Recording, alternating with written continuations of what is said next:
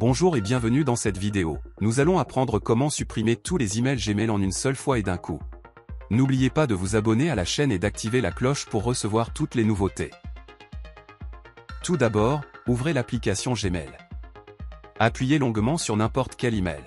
Sélectionnez les emails que vous souhaitez supprimer en cliquant ici. Une autre méthode qui nous permet de supprimer un grand nombre de mails en une seule fois est très simple. Il suffit de cocher cette case, de cliquer sur l'icône de suppression. Comme vous pouvez le voir, 50 conversations ont été supprimées.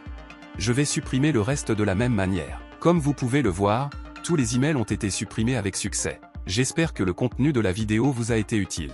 Enfin, veuillez nous soutenir en aimant la vidéo et en vous abonnant pour recevoir toutes nos nouvelles vidéos. Merci et je vous retrouve dans la prochaine vidéo.